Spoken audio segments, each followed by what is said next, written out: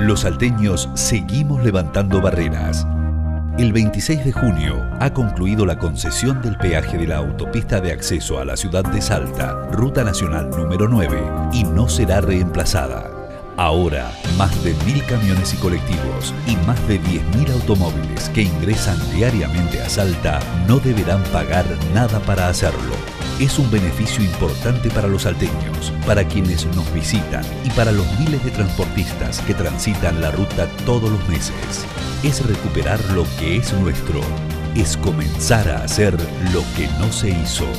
Los 55 ex trabajadores de AUNOR no solo recibirán las indemnizaciones que exige la ley por parte de la empresa, tendrán además la posibilidad de incorporarse como empleados del Estado provincial. Nadie quedará sin trabajo.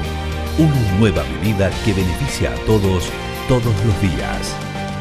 Gobierno de la provincia de Salta.